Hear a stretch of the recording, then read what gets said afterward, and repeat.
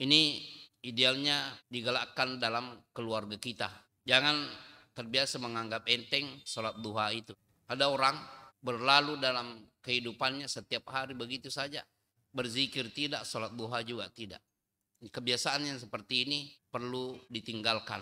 Menganggap enteng tidak berzikir dalam kehidupan sehari-hari khususnya di waktu pagi dan petang. Apalagi sholat duha itu adalah sholat yang sunnah muakkadah. Sunnah tapi muakkadah. Tidak wajib tapi ditekankan. Artinya ada nilai-nilai tertentu di dalam pelaksanaan sholat duha itu, di mana nilai tersebut, keistimewaan tersebut terkait dengan kepentingan kehidupan kita di dunia ini lebih-lebih di akhirat nantinya. Seperti yang diriwayatkan oleh Imam Muslim, Aisyah radhiyallahu anha sendiri menyebutkan dalam Sahih Muslim nih, karena Rasulullah Shallallahu Alaihi Wasallam sholat duha arba'an. Nabi Shallallahu Alaihi Wasallam sholat duha empat rakaat. Wa yazidu masya Allah. Bahkan menambah sesuai dengan yang dikehendaki oleh Allah. Dan bahkan dalam sejumlah hadis tersebutkan bahwa Nabi Shallallahu Alaihi Wasallam mengarahkan dan membimbing para sahabat untuk sholat duha.